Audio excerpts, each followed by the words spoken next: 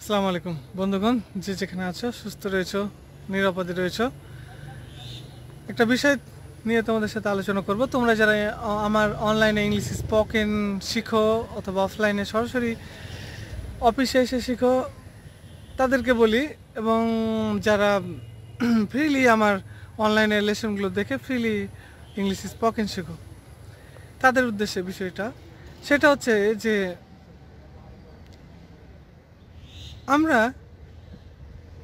একটা ফার্মেসিতে গেলে হাজার হাজার রকমের মেডিসিন পাই, লক্ষ লক্ষ রকমের মেডিসিন জ্বর, ঠান্ডা, কিডনি বা ডায়াবেটিস মানে এমন কোনো কিছু নাই যে সেখানে ওষুধ নাই। মানে সব কিছুরই ওষুধ রয়েছে ফার্মেসিতে বাট আমরা ইচ্ছে করলে যে কি বলতে পারি ক্যান্সারের ওষুধ দিন, বা হার্টের হার্ট ব্লক হয়ে গেছে ওষুধ দিন, বা কোনো একটা কিছু, পারি না আমরা।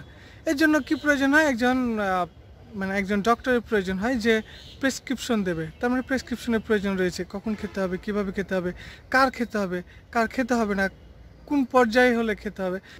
একটা মিডিয়া ছাড়া মানে হচ্ছে যে সেটা টিচার হতে পারে ডক্টর হতে পারে, সে একজন ক্যান্ডিডেটকে ডায়াগনোজ করবে। মানে চিকিৎসা করবে অ্যাসেসমেন্ট করবে দেন তারপরে তার কোন মেডিসিনটা প্রযোজ্য সেটাই একমাত্র উনি নির্ধারণ করবেন এবং প্রেসক্রাইব করবেন।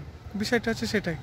তাই তোমাদেরকে বলব যে সত্যিকারের ইংলিশ স্পোকেন খুব দ্রুত এক মাসের মধ্যে বা দেড় মাসের মধ্যে কমপ্লিট করতে হলে অবশ্যই একজন স্পেশালিস্ট মানে ডক্টর হতে পারে অথবা টিচার হতে পারে, যে হোক না কেন স্পেশালিস্ট সেই ব্যক্তিকে খুঁজে বের করতে হবে, সেই মিডিয়াকে এবং তার তত্ত্বাবধানে থেকে কোর্সটা কমপ্লিট করতে হবে এবং সেক্ষেত্রে একমাত্র এক মাসের মধ্যে পসিবল এবং সেটা গুছানো, সাজানো, একেবারে সাজানো গুছানো ওয়েতে, অল্প সময়ে অর্গানাইজড ওয়েতে প্রফেশনাল ইংলিশ স্পোকেন শেখা সম্ভব।